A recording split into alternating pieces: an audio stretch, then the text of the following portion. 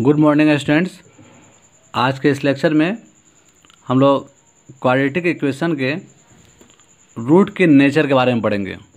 फिर इससे related question को हम लोग सोल्व करेंगे, ठीक है? तो हमारा टॉपिक आज का है nature of the roots of a quadratic equation ठीक है? अब इसमें देखिए let the given equation be a x square plus b x plus c equal zero where a is not equal to zero then the discriminant is given by d is equal to b square minus four a c हम लोग इस पर पहले discuss कर चुके हैं कि हमारा जो क्वाड्रेटिक इक्वेशन होता है a x square plus b x plus c equal zero के फॉर्म में होता है और हमारा ए का वैल्यू जो होगा इसमें ज़ीरो नहीं होगा।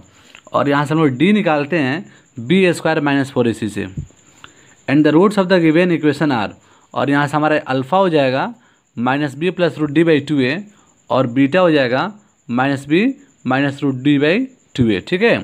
तो हम लोग अगर डी निकालेंगे तो इसमें हमारा तीन केस आएगा। डी हमारा ग्रेटर देन ज़ीरो आ सकता है पॉजिटिव आ सकता है। डी हमारा इज़ इक्वल टू ज़ीरो आ सकता है और डी हमारा लेस देन ज़ीरो आ सकता है निगेटिव भी आ सकता है, ठीक है? हम लोग किसी भी इक्वेशन का डी निकालेंगे इस फार्मूला से तो वहाँ पे तीन केस राइज होगा। या तो डी हमारा पॉजिटिव हो सकता है, या निगेटिव हो सकता है, या ज़ीरो हो सकता है, ठीक है? तीनों केस में रूट हम लोग कैसे निकालेंगे उसको देखते हैं। केस फ़र्स्ट है when d greater than zero d हमारा जब पॉजिटिव आ जाए, ठीक है? तो in this case the roots are real and distinct इस केस में हमारा रूट क्या होगा? रियल होगा और अनइक्वल होगा, ठीक है? डिस्टिंक्ट होगा। This roots are given by अब इसको हम लोग इस दोनों फार्मूला से निकाल लेंगे। एक अल्फ़ा निकाल लेंगे minus b plus root d by two a और बीटा निकाल लेंगे हम लोग minus b minus root d by two a से, ठीक है? इस दोनों फार्मूला का यूज़ करके हम लोग पहले भी क्वेश्चन सोल्व कर चुके हैं। सेकेंड केस है जब डी हमारा ज़ीरो के इक्वल हो जाए। When d is equal to zero तो in this case the roots are real and equal इस केस में क्या होगा हमारा? रूट रियल होगा और इक्वल होगा। और दोनों इक्वल रूट जो है इच रूट क्या हो जाएगा minus b by two a जब डी हमारा ज़ीरो के इक्वल आ जाएगा तो वहाँ पे हम लोग फॉर्मूला यूज़ करेंगे minus b by two a और थर्ड केस हमारा है, जब डी लेस देन ज़ीरो हो जाए डी का वैल्यू निगेटिव आ जाए तो in this case roots are imaginary इस केस में क्या होगा? रूट हमारा रियल नहीं होगा इमेजनरी हो जाएगा। And we say that the given equation has no real roots हम लोग कह सकते हैं कि यहाँ पे जो इक्वेशन दिया हुआ है, उसका कोई रियल रूट नहीं होगा। तो नहीं होगा तो फाइंड नहीं करेंगे उसको हम लोग। अब इसी को यहाँ पे एक टेबल में पूरा समरी दे दिया है कि value of d d greater than zero होगा। तो इसका नेचर ऑफ़ रूट जो होगा ना रियल और अनइक्वल हो जाएगा। और रूट्स तो निकालेंगे तो minus b plus minus root d by two a means alpha हमारा हो जाएगा minus b plus root d by two a और बीटा हो जाएगा minus b minus root d by two a उस तरह से जब डी ज़ीरो हो जाएगा तो यहाँ पे जो नेचर ऑफ़ रूट्स होगा हमारा रियल और इक्वल हो जाएगा और इच रूट हो जाएगा minus b by two a ठीक है? और डी जब लेस देन ज़ीरो होगा तो यहाँ पे नो रियल रूट्स होगा और यहाँ पे हम लोग रूट्स फाइंड नहीं कर पाएँगे, ये नन हो जाएगा। तो ये नेचर ऑफ़ रूट्स जो है ना, इसको आप लोग अच्छे से समझ गए होंगे और इस पर बहुत सारा क्वेश्चन आपका अब सोल्व होगा, ठीक है? बोर्ड एग्ज़ाम में भी इससे रिलेटेड क्वेश्चन पूछता है। अब हम लोग एक्सरसाइज 4.4 के क्वेश्चंस को सोल्व करते हैं। इसका फ़र्स्ट क्वेश्चन दिया हुआ है find the nature of the roots of the following quadratic equations if their real roots exist find them अब इस क्वेश्चन में जो क्वाड्रेटिक इक्वेशन दिया हुआ है, उसके रूट का नेचर फाइंड करना है। अगर वो रियल है तो उसको फाइंड भी करना है।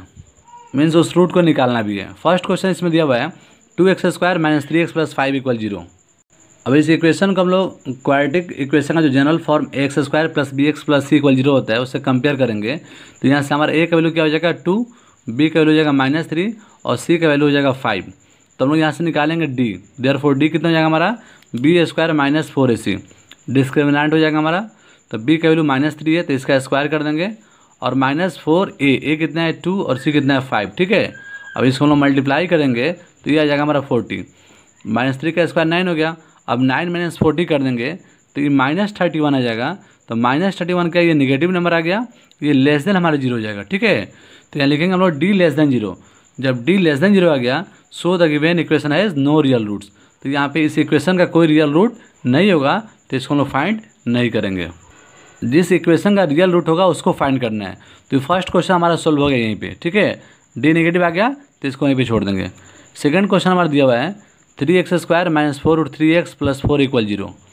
अब यहाँ पे हेयर ए का वैल्यू क्या होगा? थ्री बी का वैल्यू हो जाएगा माइनस फोर रूट थ्री और सी का वैल्यू हो जाएगा फोर तो हम लोग डी निकालेंगे b square minus four a c से। तो बी का वैल्यू हमारा दिया है माइनस फोर रूट थ्री उसका स्क्वायर करेंगे, minus four into a a का वैल्यू थ्री है और सी का वैल्यू फोर है इसको मल्टीप्लाई करेंगे। माइनस फोर रूट थ्री का स्क्वायर हम लोग करेंगे तो यह आ जाएगा फोर्टी एट और फिर इसको मल्टीप्लाई करेंगे फोर थ्री फोर को तो यह आ जाएगा फोर्टी एट तो forty eight minus forty eight zero आ गया. अब यहाँ पे डी का वैल्यू हमारा ज़ीरो आ गया, ठीक है? तो अभी जस्ट हम लोग देखे थे, जब डी ज़ीरो हो जाएगा so the given equation has real and equal roots तो यहाँ पे क्या होगा? रियल रूट होगा और इक्वल रूट भी होगा. अब रियल रूट होगा तो इसको फाइंड भी करना है कि कौन सा रूट होगा? तो यहाँ पे इच रूट जो होगा माइनस बी बाई टू हो जाएगा. और बी का वैल्यू क्या है हमारा? माइनस फोर रूट थ्री है. तो इससे पहले माइनस कर देंगे minus b by two a और ए का वैल्यू हमारा थ्री है। तो ये हमारा हो जाएगा यहाँ से। अब टू से फोर को हम लोग कैंसिल कर देंगे टू टाइम्स तो ये हमारा जाएगा two root three by three ठीक है? तो ये दोनों रूट इक्वल होगा तो एक रूट फाइंड कर लिए, दूसरा इसी का इक्वल होगा। तो हम लिखेंगे hence two root three by three and two root three by three are the roots of given equation जो इक्वेशन दिया हुआ है, उसका दोनों रूट यही होगा। इसका थर्ड क्वेश्चन भी है, उसको सोल्व कीजिएगा। उसमें डी ग्रेटर देन ज़ीरो आ जाएगा। तो वहाँ पे हम लोग अल्फ़ा बीटा से उसका रूट फाइंड कर लेंगे। तो फ़र्स्ट में तीन क्वेश्चन दिया है। फ़र्स्ट क्वेश्चन में आपका डी लेस देन ज़ीरो आएगा। सेकेंड क्वेश्चन में d is equal to zero आएगा।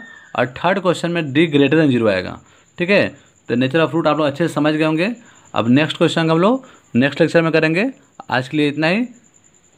Thank you. Have a nice day.